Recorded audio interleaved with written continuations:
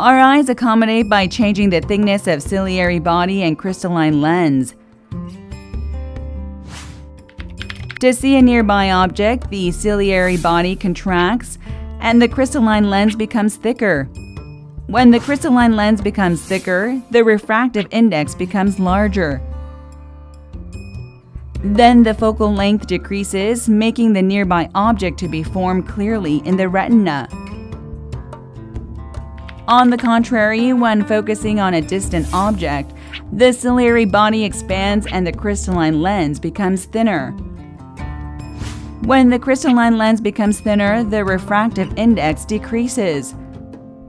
Then the focal length increases, making the distant object to be formed clearly in the retina. Therefore, the change in the thickness of the crystalline lens allows us to see things clearly.